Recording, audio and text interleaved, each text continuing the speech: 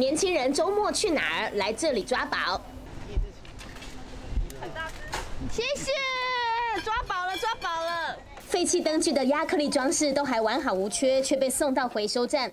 淘汰的工具含有复合式煤材，难度高，也需要拆解。主要原因是因为同时由于，无法拆解的话，适时的使用一些利器把它拆解，也是一种舒压的方式。颜色比较重的是铁的，它这个还要拆掉。手电筒、卡带、玩具，外形完好，却同样面临回收的命运。原本好像分完一篮的，可是后来又载了一车过来，原本已经快要结束的东西又堆上来，就好像。分不太完，无底洞的感觉。对，做就好了。今天发现拆这个其实可以消一些压力。生活用品随手可得，但许多人也随意就丢。买东西之前更应该要好好的思考。现在三 C 产品很多都汰换率很高，有新的出来，然后你就想换新的，但其实他们都还可以用很久。不要这么喜新厌旧，就是老东西有老东西的好。现在人物质太丰富了，带我们那些大学生去做环保，让他们知道说，你看这么多东西。